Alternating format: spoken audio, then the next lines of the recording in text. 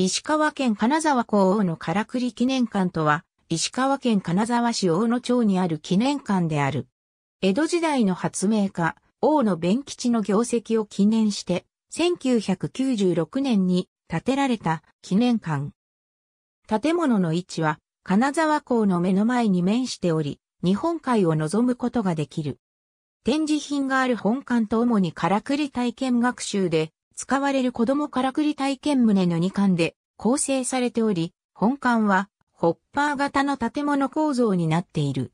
主にからくりの展示をしている記念館でからくり人形や望遠鏡、ピストル、覗きからくりなどがある。その他に王の弁吉に関する人物伝、からくり技術が常設展示されている。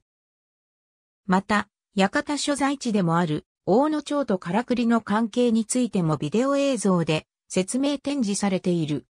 展示品の一部においては、YouTube 公式アカウントにおいて、実際にからくりを動かしている映像が公開されている。